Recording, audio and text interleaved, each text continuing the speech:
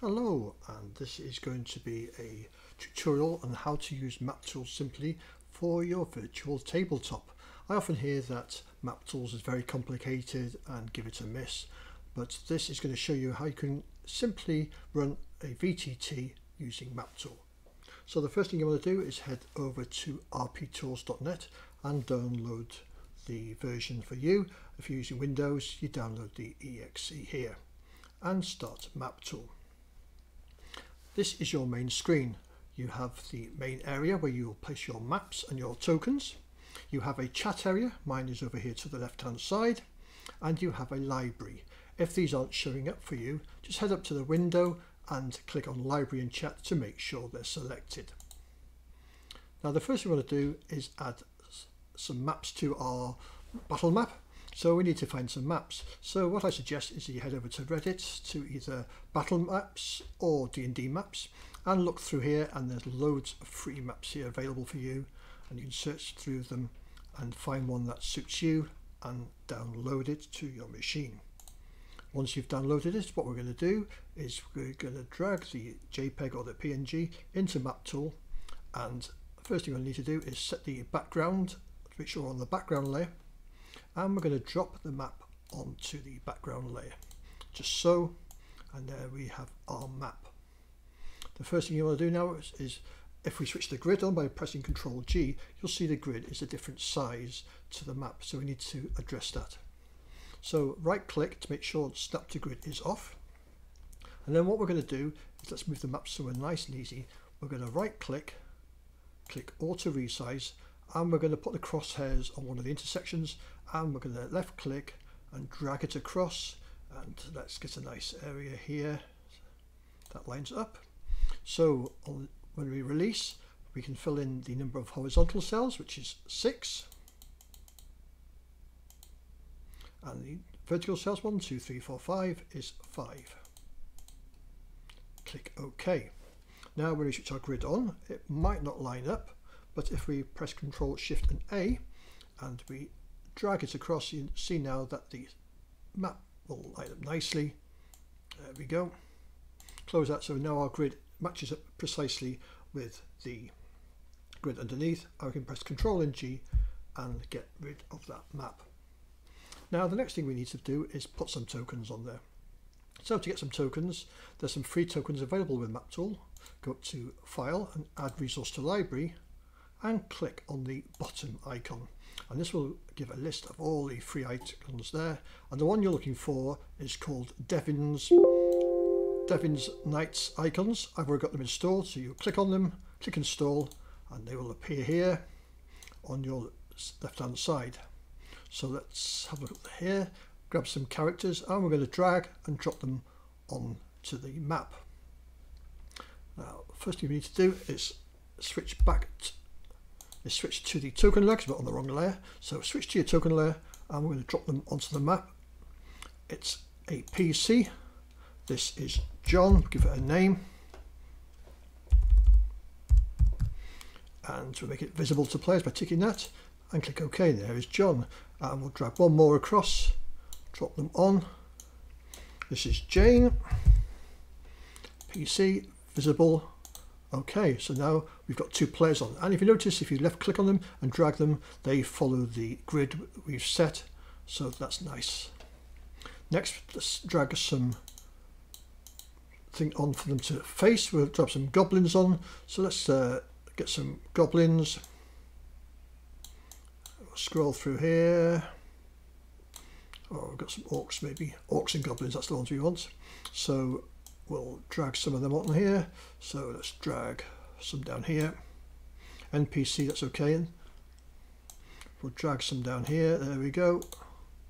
If you want to duplicate them, we can right click and copy, and then just hold our mouse and press Control V, and it'll paste some more for us. There we go. So there we've got our players at the top, and we've got some foes for them to face down here. Now, if you want to add another map, we just go to Map new map. We'll call this one space. And background, we'll have it as black. OK. And now we've got two maps. And you can select your maps at the top right hand corner. So we've got space and grasslands. And if you notice that each map has got grey hashes on them, that's because the maps have not been made visible to players. So with this map, let's make it visible to players. We go to map, player visible, that now disappears. The other thing we're going to do now is add fog of war. And we do that by map, fog of war, and you'll see now that it goes all, all uh, dark at the top, but as a GM, you can still see through. Through the players, if the players see, all they can see is black. Now we need to share this game with our players.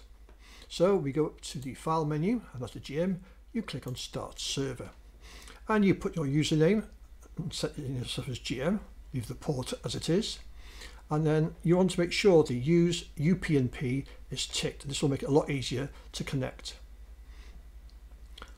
The RP Tools alias is the name of your game. This is set up as Grasslands, so we'll call this um, Battle Test. There we go. So that's the, the name, that's the play, game the players are going to join. We set our GM password and we set a password for our players. If you want other GM to join, you give them that password. Make sure strict token ownership is unticked, click OK, and that will start the game off and you are now hosting the game. For your players, your players will come up to File, Connect to Server, and they will put in their username, the password that you've set, in this case it was beta, and the server name was battle test. So you either put that in there, or you scroll down the list and pick it from there, click OK, and the players will join your game. And as I said, they will be joined at a blank screen.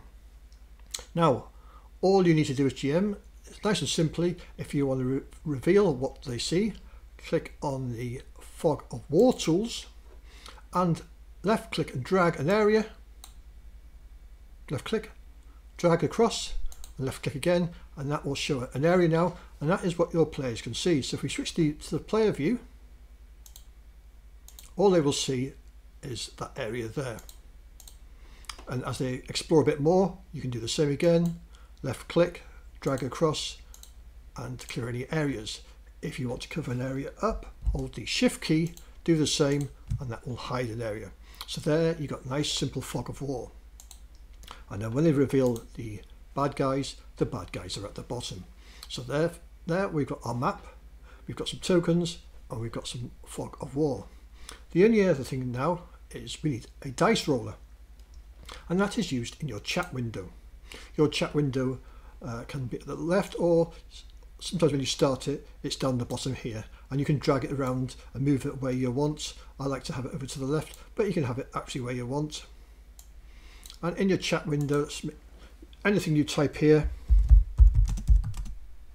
your players will see with their name and they can reply to you so you can pass messages on there I would also suggest that um, when you're having your game that you use Hangout Skype or Discord audio so you've got voice to, to, each other and just use your chat for any messages in game or if you want to use a dice roller then we can roll dice in here that all players can see.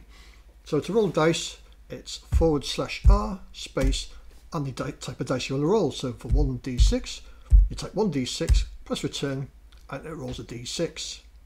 If you want to roll 2d6 2d6 return and roll the dice for you. Same with your d8s, your d 12s and your d20s. If you've got a modifier that you want to add, you can do that as well. So if your character has a modifier of plus one when making a roll, you can add plus one. It'll do a d20 roll and add the plus one. And there you have it. There you've got the simple game. You've got your maps, you've got your chat with your dice rolls, and you're up and running with very little problems. Now, if you can't connect to the server, you've got networking issues, what I suggest you do is head over to the RP Tools wiki. And over there, if you search for network, there it goes through all of this information here to try and help you run through how to set your network up. You may have to set port forwarding up on your router. If you search for port forwarding and your internet provider, that will give you a page on how you can do that.